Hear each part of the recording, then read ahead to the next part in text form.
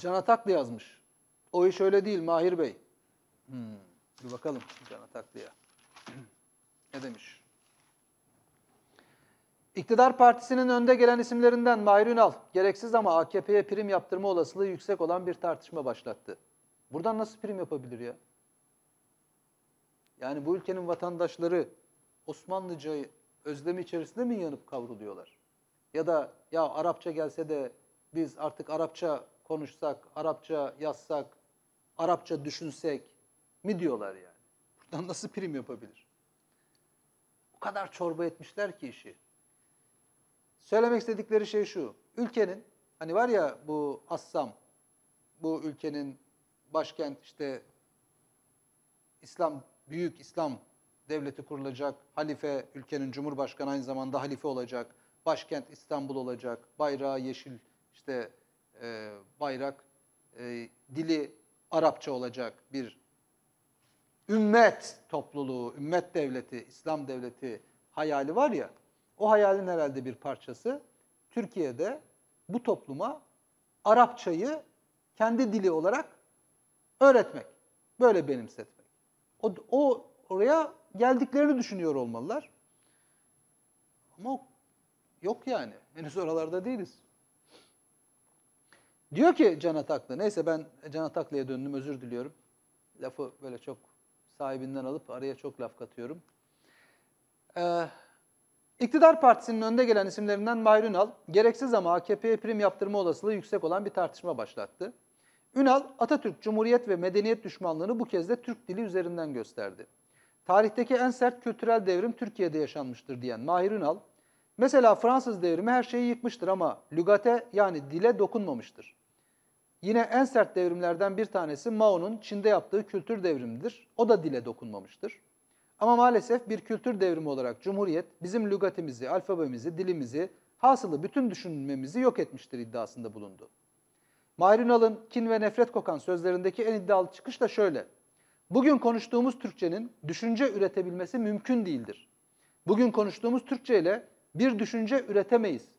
Sadece ihtiyaçlarımızı karşılayabiliriz, konuşma ihtiyacımızı karşılayabiliriz. Öyle sanıyorum ki Mahir Ünal bunu kendi kelime hazinesi ve düşünce ufku sınırları içinde söylüyor. Yoksa hemen ardından şöyle bir cümle sarf etmesi mümkün olmazdı. Mesela melül, mahzun, inkisar, keder, hüzün, buhran bunların hepsini tek bir kelimeyle ifade ediyoruz. Stresliyim. Bu doğru değil. Mahir Ünal'ın saydığı kelimelerin hiçbirini stres olarak tek kelimeyle ifade etmiyoruz. Melül, üzgün demektir. Mahzun, çaresizlik içinde üzgün demektir. İnkisar, kırılma demektir. Keder, acı tasa demek. Hüzün, iç kapanıklığı demek. Buhran, kriz, depresyon demek. AKP'nin en tepesine kadar çıkmış bir isim dil konusunda bu kadar cahil olabilir mi? Normalde olamaz. Ama ya gerçekten sanmadığımız kadar cahil ya da böyle oynayarak cahil halk üzerinde algı oluşturmaya Atatürk, Cumhuriyet, devrimler ve medeniyet düşmanlığını pekiştirmek istiyor. Mahir cahildir veya değildir. Orasını ayıralım ama belli ki hiç bilmediği bir gerçeği kendisine hatırlatmak isterim. Dil ve alfabe devrimiyle bu ülke bir anda cahilliği terk etmiştir. Dil devrimi yapıldığı sırada ülkenin toplamında okuma yazma bilme oranı yüzde üçlerde bile değildi. Bakın erkeklerde yüzde yedi, kadınlarda binde üç. Toplayınca işte yüzde üç, üç buçuk yapıyor toplam nüfusta okuma yazma oranı. Bu kadar. Bir ülkenin yüzde üçü yalnızca okuma yazma biliyor ve siz sonrasında bu ülkenin yüzde doksanına, yüzde doksan sekizine okuma yazma öğreten bir inkılap, devrim gerçekleştiriyorsunuz. Harf devrimi. Bugün dönüp hala yüzde üçlük o günleri özlediğinizi dile getiriyorsunuz.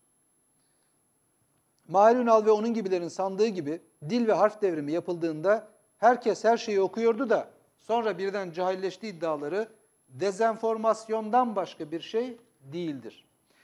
Cemil Kılıç'ın bir tweet'i var arkadaşlar. Onu ekrana getirir misiniz? Cemil Kılıç diyor ki gelin tanış olalım, işi kolay kılalım, sevelim, sevilelim, dünya kimseye kalmaz. 700 yıl önceki Yunus böyle diyor. Bakın bu toplumun, bu toprakların dili Türkçe konuşanlar için böyle. Ama bir de Osmanlı var. Osmanlı'yı sanki bir soymuş gibi, bir ırkmış gibi, biz Osmanlı'nın torunlarıyız deyip Türklüğün yerine koyanlar var ya, onlar için Osmanlı'nın yarattığı dil de kendi dilleri. Irkları Osmanlı, dilleri Osmanlı. Kendilerini öyle görüyorlar. Olabilir. Herkesin görüşüne saygımız var. Öyle görüyorlardır da. Osmanlı ne diyor? 700 yıl önce Yunus, gelin tanış olalım, işi kolay kılalım, sevelim, sevilelim, dünya kimseye kalmaz derken, arı Türkçeyle derdini, tasasını böyle anlatırken, Osmanlı ne diyor? Diyor ki, Arabi ve Farisi'den iki şehbal ister, ta ki pervazı bülent eyleye ankayı sühun. Ne demiş? Ben anlamadım. Zaten kimse de anlamamıştır. Yani bilenler, çok iyi bilenler, onlar anlamıştır. Yüzde üç vardı ya, şimdi yüzde üç de değil. Anladınız mı, anlamadınız değil mi diyor. Osmanlı dili bu. Arabi ve Farisi'den iki şehbal ister, ta ki pervazı bülent eyleye ankayı sühün.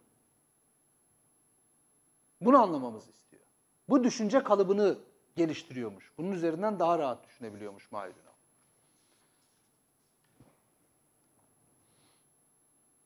Cumhuriyeti çekememezlik var. Harf devrimini anlamamak var. Bugün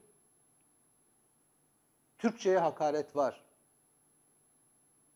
Türkçenin zenginliğinden nasibini almayıp diğer taraftan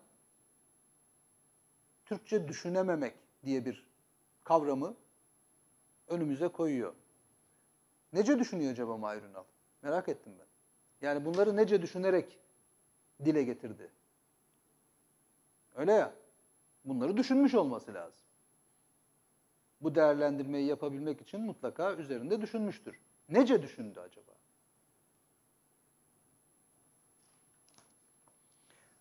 Korkusuzda manşet akraba mı akbaba mı? Tekirdağ Malkara'da yaşanan olay böyle dedirtti. Akrabalarını önce misafirliğe çağırdılar. Ardından evlerine adam gönderip 3 milyon liralık para ve altınlarını çaldırdılar. He. Garantiye almışlar yani evin boş olmasını. Tekirdağ Malkara'da yaşayan RB'nin evinde 3 milyon lira değerinde ziynet eşyası olduğunu bilen akrabası NÇ ve oğlu MC altınları çal